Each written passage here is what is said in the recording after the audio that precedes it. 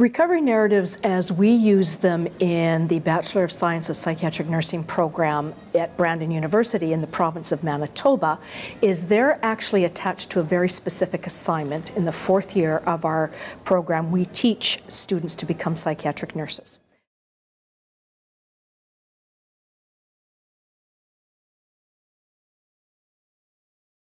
The recovery narrative assignment in the fourth year is our students are um, partnered with a ind individual participant who's living in the community of, of, Winnipeg who has a severe and persistent mental health challenge. So over the course of the over the term of the course, so the course is three months, our students are expected to meet weekly with the participant, approximately one hour a week. And their main role is to listen is to listen to the individual. Our students are given a guideline of uh, areas in which they can question the participant about, but it's really hearing the participant's story about living their life with a mental illness. And at the end of listening and asking questions, the students are taking notes, and at the end, they produce a 20 to 25 page recovery narrative, which is the individual's story. Uh, the individual uh, then evaluates it, and with depending on the individual's consent, their story can be shared if they want it shared with other mental health professionals, or it's just theirs. They're given a copy. I, as the prof, read them because then, uh, then I mark them. Um, but uh, that's how that's how the assignment is in in the course uh, assignment really helps our students, number one, reduce stigma, reduce their own professional stigma. And number two, it helps the students build empathy, therefore, then they are better able to identify with people as they're human. They are like their parents, they are like their brothers, their sisters. They are us, we are them. So they become less, students are then less likely to label and to see these people as just individuals like themselves and they can work collaboratively and help hopefully when in practice treat them as humans just like themselves and help work out a treatment process for them. For psychiatric nurses, the main essence of our role is the therapeutic relationship. And part of the therapeutic relationship is to listen. And I say effectively listen because we all use the word, oh, we listen, but we don't always listen.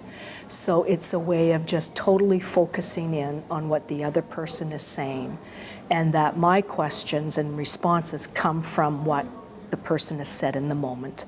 And we and I listen to that and I ask maybe ask more questions. So some of the questions our students uh, are guided to ask about are things like uh, how what has been your experience with your mental illness? What are you looking for in the future? What are you anticipating in the future?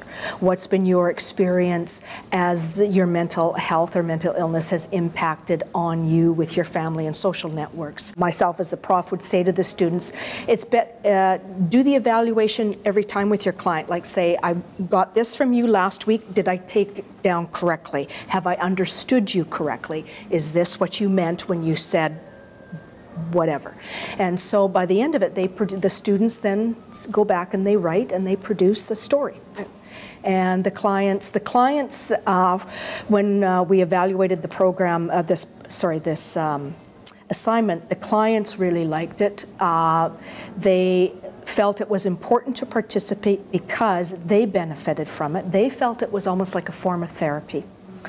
They also felt that they were being allowed to uh, enhance the students' education and to better inform mental health practitioners. And the work we'd like to see happen is that these recovery narratives then get adapted and or adopted in the clinical settings so that practitioners can uh, have conversations, dialogues with their clients and families.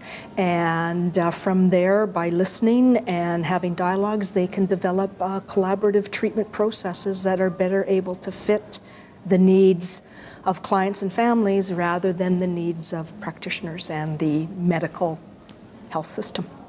Uh, hopefully, because we teach this in, in our education, that our students, when they become graduate nurses, psychiatric nurses, will go out and they will incorporate some of this into their practice, such as spending more time with their clients on intake, asking more questions, making more, getting to know their clients and finding out what kinds of things they're looking for in treatment, what they're not looking for, what might work for them, what might not what's worked well in, in, the past, what hasn't worked, all those kinds of conversations.